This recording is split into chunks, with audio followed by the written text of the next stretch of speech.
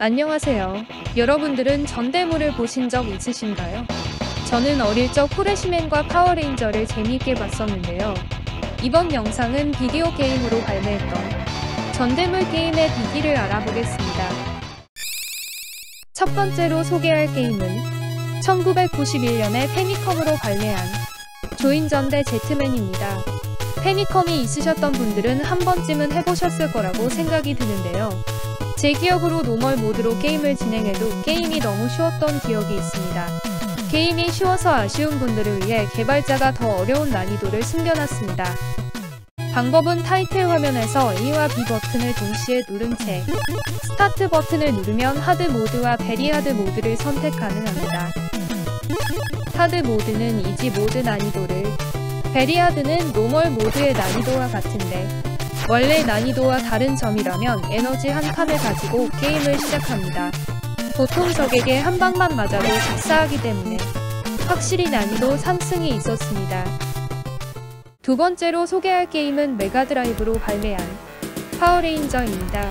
1994년도에 발매한 대전 액션 게임으로 북미판으로만 발매해서 생소한 게임입니다. 해당 게임에는 숨겨진 캐릭터가 하나 존재하는데요. 게임이 실행되고 반프레스토 로고가 뜨며 2P 컨트롤러의 ABC 버튼을 목소리가 들릴 때까지 연속으로 눌러줍니다. two player battle 모드를 선택하면 이블 그린 레인저를 선택 가능합니다. 캐릭터 선택 화면을 보면 그린 레인저와 이블 그린 레인저가 있는데요. 두 캐릭터는 무슨 차이가 있을까요?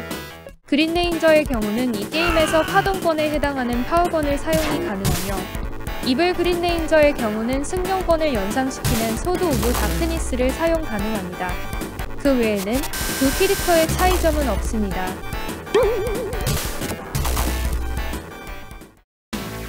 세 번째 게임은 벨트 스크롤 액션 게임으로 발매한 파워레인저 더 무비입니다. 1995년 메가드라이브로 발매한 게임으로 파워레인저와 벨트 스크롤 액션 게임을 좋아하시는 분에게 추천해드리고 싶은 게임입니다. 해당 게임은 개발자 모드를 선택하는 방법이 있습니다. 먼저 옵션을 선택해서 SE 테스트를 C1으로 voice 테스트는 28로 음악 테스트는 8위로 변경 후 B 버튼을 누르면 컷신을 구경할 수 있는 visual selector가 뜨게 됩니다. 방향키를 이용해서 컷신을 고르고 버튼을 누르면 컷신이 재생됩니다.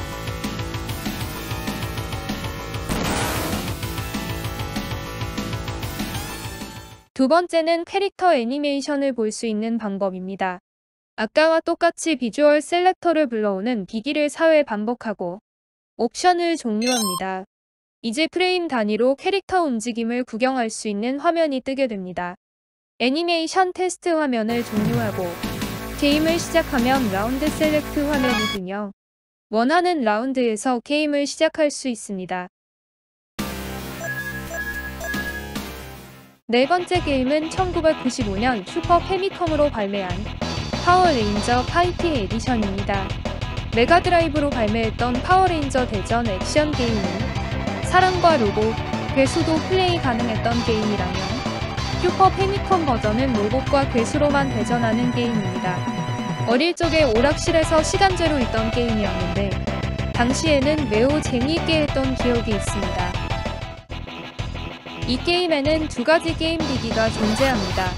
먼저 파이팅 모드를 선택해서 1P와 2P의 select 버튼을 누르면 CPU로 변경되며 컴퓨터끼리 싸우는 모습을 관전이 가능합니다.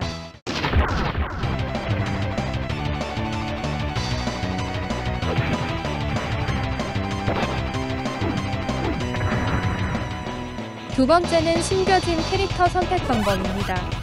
파이팅 모드를 선택하고 캐릭터 선택 화면에서 X와 Y 버튼을 누른 채 스타트 버튼을 누르면 아이반 우즈가 선택됩니다. 아이반 우즈는 이 게임의 최종 보스이며 캐릭터가 자유롭게 날아다닐 수 있고 버튼만 눌러도 필살기 급의 기술이 나갑니다. 방어력을 제외하면 캐릭터 능력치가 좋은 편입니다. 마지막 게임은 1995년에 슈퍼 패미컴으로 발매한 파워레인저 The Movie입니다. 전편과 다르게 2인용 플레이가 가능하며 횡스크롤 액션 게임으로는 특이하게 L이나 R 버튼을 누르면 위나 아래로 장소를 이동할 수 있습니다. 게임 중에 번개 모양의 아이템을 먹어서 파워를 모으면 파워레인저로 변신이 가능한데요. 처음부터 파워레인저로 변신해서 플레이하는 방법이 있습니다. 타이틀 화면 에서 위, 아래, 왼쪽, 오른쪽, X, B, Y, A 버튼 순서로 입력 후 효과음이 들리면 성공입니다. 이제 게임을 시작해보면 처음부터 파워레인저가 되어 있는 걸 볼 수 있죠. 지금까지 전대물 게임 비기를 알아봤습니다. 재미있게 즐기셨던 파워레인저 게임이 있다면 댓글을 남겨주시고요. 시청해주셔서 감사합니다.